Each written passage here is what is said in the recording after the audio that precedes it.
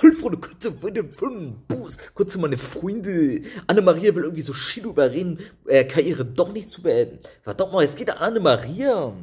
Digga, dein, dein, äh, dein, dein Ehemann hat seine Karriere komplett versaut, indem er ein Gangster-Rap-Kostüm angefangen hat, indem er sich in Talkshows gesetzt hat, indem er mit der Bild und RTL zusammenarbeitet.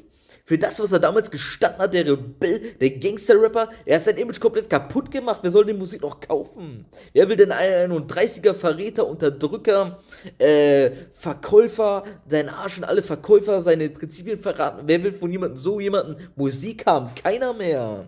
Da könnte er, keine Ahnung, Bordstein Skyline 3 rausbringen. Keiner wird es mehr haben wollen. Image kaputt. Lern doch mal vom Marketing. Was ist denn los? Karriere vor, zu Ende forever. Kommt nie wieder zurück, Mann.